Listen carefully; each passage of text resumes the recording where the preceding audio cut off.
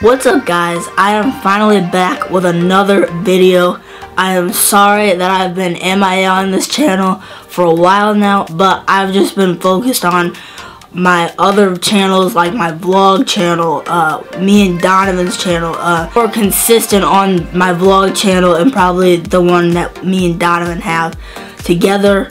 Um, just because I've, it's kind of easy just to upload videos on there. Like with my tech videos, I care about them so much. I have to like put so much time and effort and I like to come up with great content ideas and I just don't want to put out anything that I'm not proud of. So uh, that's just me being honest, but I'm going to be doing a lot better on this channel with videos. I promise that. But enough rambling, I'm going to get on with this video. So Apple just wrapped up their event on Monday. Today's Thursday. I'm a couple days late, but I still wanted to get a video to you guys since I missed all the rumors and everything else. But uh, before the Apple event, and yeah, I'm just going to tell you everything they announced and big changes and the new products that they released. So, so first off, we have WatchOS 4, which has new watch faces, including a Siri face that is controlled by your own preferences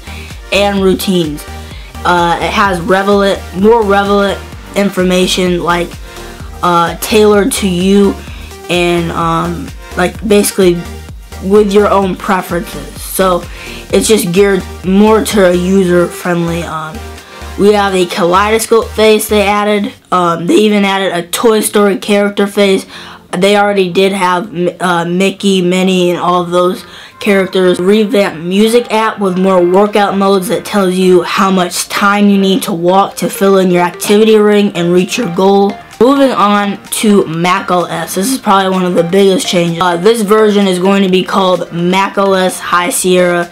It includes a lot of optimizations, refinements. Most of all, uh, most of these improvements actually are in Safari which Apple claims is the fastest browser compared to any other competitors like Google Chrome and all the other browsers. There's also ad prevention, which is like when you're browsing, like say on Amazon, you're looking at different things, you add some stuff to your cart, and you go to another website, you see those same items, that means that you're being tracked. So that is no longer going to be uh, a thing uh, thanks to ad prevention. Next, we have full screen split view.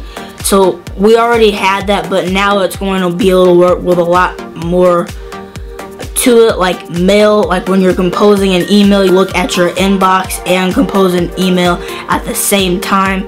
And also mail takes up a less storage which is a plus because I don't know about you guys but I have so many emails and to try to get to all of them it's ridiculous. They also take up so much storage. That's where a lot of my storage goes to. There's a lot of new improvements to photos. To the photos app uh, features will sync up Photoshop, like say if you're editing in the photo application, whatever you're doing over there will automatically sync over to Photoshop if you're a Photoshop user. Next, we have Apple File System, which we already knew was coming uh, with improvements in GPU performance with Metal 2, but that only works with newer Macs. So if you don't have the newer Mac, you will obviously not have Metal 2. You'll have the same amount of GPU performance. We have support now for external graphics built into Mac OS. Uh, we have VR is also coming to the Mac. Um, so you're now able to edit VR in Final Cut Pro and a lot of other third-party apps. With this new version of Mac OS, there is also a new version of the iMac. This iMac comes with faster storage, Kaby Lake processors, up to 64 gigabytes of RAM, which is the most RAM they've ever had um, on an iMac to that amount. Um, that's only going to be actually on the 27 inch model. Two new USB-C ports have an all new display that is said to be one of the best displays ever put on an iMac. It makes it up to 500 nits brighter. Uh, we have next generation graphics with 80% faster graphics on the 21 inch model and three times faster on the 27 inch model. There is also a difference in price for the mid-range with 4K. It did go down to $14.99. They kind of skipped over the MacBook lineup. They do all have now Kaby Lake processors. There's not really a big, big upgrade as far as design change. You have 50% faster storage on the MacBook and you will get faster standard graphics on the 15-inch model MacBooks as well. Making the 13-inch model MacBook go down to $12.99, but nothing too exciting happened to the MacBooks this year. Um, maybe in the future, we don't know. They could have another Apple event when the iPhone 8 comes out and maybe they'll update them then or we may not get one probably till next year. Now Apple did announce their new iMac Pro today which was probably the I was the most excited over when I was watching the Apple event. Uh, it's said to be the most powerful Mac they have ever created. It comes in a dope jet black color uh, that just looks too much together like it hurts my eyes when I look at it. It comes with matching accessories uh, with a magic mouse and keyboard obviously in the same jet black color but these accessories you can't just buy separately they only are available with the iMac Pro. It does have a Xenon processor, a cooling system to keep it cool so you'll no longer have an overheated computer. You do have the choice of 8, 10, or 18 core processors uh, you can even have up to 128 gigabytes of RAM. It does have Radeon Vega graphics. It has a Ethernet port, a USB-C port, and overall this iMac is just made for professionals, uh, video creators, and for like anybody that is looking for a beast of a machine.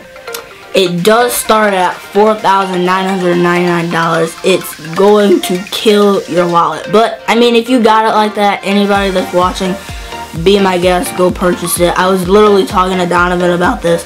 The only way I would spend that amount of money on a computer or an iMac in general is if we were actually we were actually taking our videos to the next level and we're like with our company we're planning on owning our own business that is probably the only reason why I would spend that type of money on a computer. But overall, I think it's a great investment if if you need it for that. But it's not available until December. So they kind of tease us with it now. Uh, we won't be able to get it till December. Starting off with iOS 11, I was so hyped about this update when it was revealed. They started off by telling us what new technologies are inside of it. It has a ton of new features and a lot of add-ons that just make iOS more tailored to your needs. Apple Pay Cash where your money is secured so it's instantly available at your convenience. We have a redesigned app drawer so uh, you'll be able to see that inside of iMessages. It's a lot simpler, organized, and iMessages, all of your messages on one device will automatically sync across all your devices and if you delete a message on one device it'll delete across all of them which we didn't have before. You had to manually delete it off of every device and yeah that just overall frees up a lot of storage that way. Siri got a big update which makes her sound a lot natural instead of computerized new male and female voice. It has a new interface that will show you results and translate different things in other languages, which is pretty cool because I think some more, there's like several apps actually that will translate different things um, in another language if you need it, like Google Translate and all that other stuff. Moving on to cameras. Apple implemented their new H.264 compression which if you're not a tech person, it simply means that your pictures and videos will take up to two times less storage than they have ever before. So now you can have double the photos and less storage. iPhotos has more features like loops to play over and over again uh, with a image that you can choose like bounce. We have that's in feature. You can make your live photo rock back and forth or we have long exposure that allows you to add a blurred effect on things in your image that you used to only be able to do on a DSLR camera with a really special lens. Now on to iOS 11 redesign. Control Center looks awesome. It's a now a single page with all of your controls like your volume, your music, your lock rotation, your portrait lock, whatever you want to call it, your brightness, your flashlight. Like you used to have to swipe two pages. Um, there was two pages in Control Center. Now you just have one big page. Um, it has 3D touch toggles and platters that you can get more information from. And I just think it looks better and more user friendly now with uh, some cool little animations like when uh, the Apple event they showed the little lock button like it would rotate in the uh, button. But I can't wait to try this out in person when iOS 11 comes out. I'll definitely be doing lots of videos. But the only thing I am disappointed about is that Apple did not add group FaceTime. I saw this rumor. I really think they should have added it to iOS 11 I was looking forward to it because I use FaceTime a lot and I think that it would be a good feature to add to iOS 11 but it is what it is. The App Store definitely redesigned so you're more able to you're more up to date with what's new on the App Store. You're more engaged with what apps are popular at the moment. Like there's a Today tab, a Games tab. So you basically have three categories to choose from. Apple did release a 10.5 inch iPad Pro with a slimmer bezel and all new display with 120 hertz rate basically making it a lot smoother um, when you're scrolling and the display adapts to the content that you're viewing which means you'll save power when you don't need it. This new iPad Pro is running a A10X chip uh, that has a ridiculous amount of processing power. So when you're editing a photo or anything that has to do with graphics, it is definitely going to be fast. The camera has been replaced with the iPhone 7's camera. So there is a 7 megapixel in the front and a 12 megapixel in the back with optimal image with optimal image stabilization and 4K. So quite an upgrade.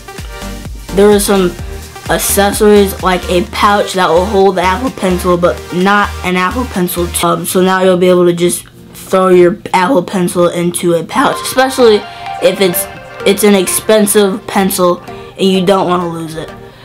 It will be available next week and it comes in 64 gigabytes, 256, and 512, which is as much as a MacBook Pro. It's a lot of storage. Lastly, Apple announced an all new product called HomePods. It's a breakthrough home speaker but has the Alexa feel to it uh, but it's Siri inside of it. So you can use it as a smart home device for all your things. Um, you can ask it questions obviously. It has seven tweeters, one big subwoofer, and the speakers are all powered by Apple's A8 chip. It can stand in a room and analyze its environment, which is pretty cool. It uses spatial awareness to figure out what's the best way to produce great sounding music and it really like dives into the vocals and the backgrounds and like like brings it out even more like it's it's such a good speaker um I would definitely consider getting this and Apple has been working on this now for years now. They are very proud of it and it'll also be coming out in December. It starts at 349. The price is really reasonable considering what technologies you're getting and compared to a lot of other speakers, that's an awesome price. So there you have it. That about wraps up this video. What an awesome Apple event. We got so many new products to look forward to and a lot of improvements if you enjoy this in-depth recap, hit that like button for me one time. Subscribe for coverage on Apple and more tech and reviews and unboxings. Follow me on all my social media below. Make sure, like I said again, check out my vlog channel and me and Donovan's channel in the links below. I post a lot more on those channels. Like I said, I'm still going to be doing a lot more here. But if you want to see me more consistent and you want to see the other side of me with just my life, check out the channel. Thank you guys for watching this video and I'll see you guys in the next one. Peace.